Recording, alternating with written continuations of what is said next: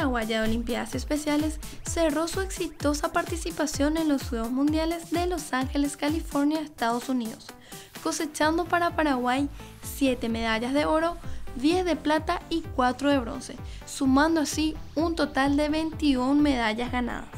En el último día de competencia, la delegación nacional obtuvo 6 preseas.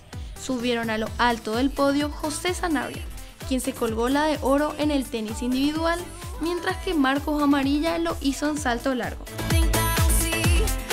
Paraguay volvió a rendir alto en la cita mundialista, demostrando con una alta producción de títulos los trabajos realizados durante el proceso precompetitivo.